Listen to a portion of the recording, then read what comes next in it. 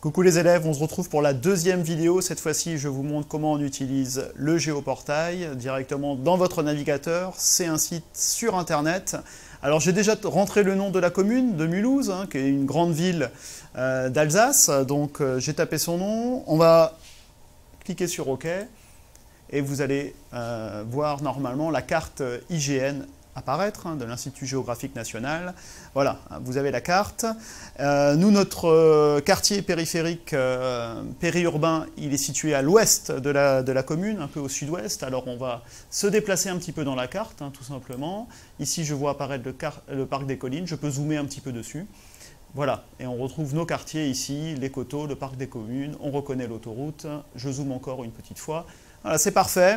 Ici, nous avons la carte qui représente euh, le paysage que je vous ai présenté. Je vais vous maintenant vous montrer comment on utilise rapidement Géoportail. Euh, je vous ai dit que ce site, euh, un paysage, c'est un petit peu comme un millefeuille hein, quand, on l'observe, et Géoportail nous le montre vraiment, puisqu'on a différentes couches d'informations qui apparaissent grâce à Géoportail. Ça nous permet de mieux décrire et analyser un paysage. Alors regardez en haut à droite, ici, vous voyez, vous avez un petit chiffre qui c'est marqué 2, tout simplement. Ça veut dire quoi si je clique dessus? Hein, ça veut dire que vous avez deux couches d'informations qui apparaissent dessus. La première, c'est la carte que vous voyez ici. La deuxième, c'est la photographie aérienne. Alors, je vais ici dans les réglages, et ma photographie aérienne, je vais la faire apparaître en plaçant le curseur sur 100%.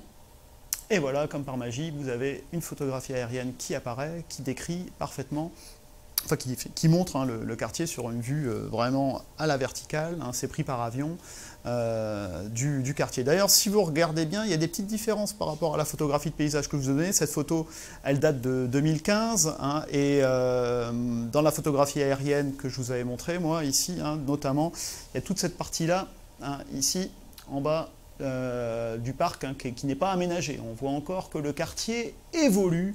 vous devrez décrire d'ailleurs ces évolutions. Autre couche d'informations disponible. Vous allez sur plus de données, ici, et là vous allez faire apparaître différents types de fonds de cartes. Alors je vais réapparaître comme par magie ici dans, le, dans la vidéo, c'est fait. Ah, alors regardez à gauche ici, vous avez euh, différents euh, fonds de cartes qui sont disponibles. Alors nous, lesquels vont nous intéresser pour l'analyse du paysage? On va aller dans les données thématiques ici, alors je descends, je descends, je descends. Et on va aller voir, hein, comme on s'intéresse un petit peu aux, espaces euh, productifs et aussi à la vie des habitants, on va aller voir deux indicateurs notamment, hein, ce qui concerne l'économie et l'emploi. Alors je clique dans économie et emploi, et là vous voyez, j'ai des différentes couches d'informations qui apparaissent, notamment certaines que je vous ai déjà présélectionnées.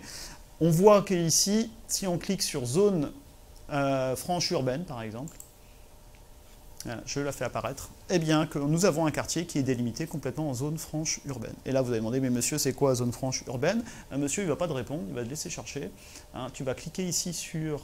Euh, tu vas juste faire apparaître la souris sur cet espace-là, et tu auras déjà une réponse. Hein. Et si tu vas dans la zone information de la carte, alors j'ouvre ici plus d'outils, et si tu vas dans l'information, tu auras ici des réponses qui sont assez précises à cette, euh, question. Hein.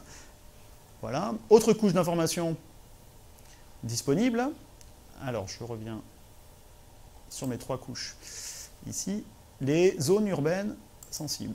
Alors, je fais apparaître également. Et là, on voit qu'on a une superposition avec les zones urbaines sensibles. Ça veut dire que ce quartier également une zone euh, classée hein, par euh, la politique de la ville. Et vous allez voir à quoi ça correspond également et qu'est-ce que ça dit de la vie euh, des habitants qui, vivent sur place.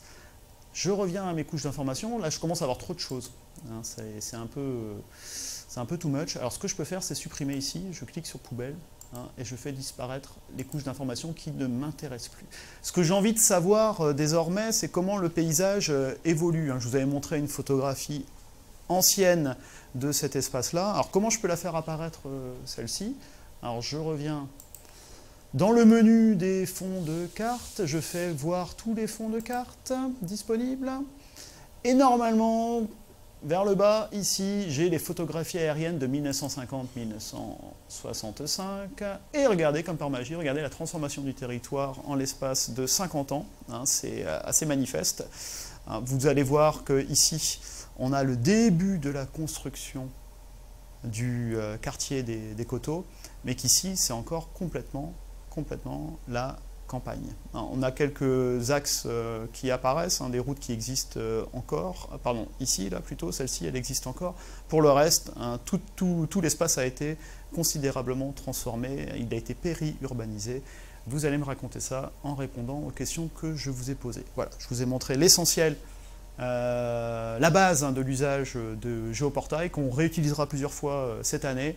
Hein. donc euh, vous reviendrez peut-être sur cette vidéo une autre fois pour comprendre comment ça, marche. Mais le mieux de toute façon c'est de tester, c'est de fouiller. Et puis vous m'appelez pendant le cours s'il y, a un souci d'utilisation. A tout de suite.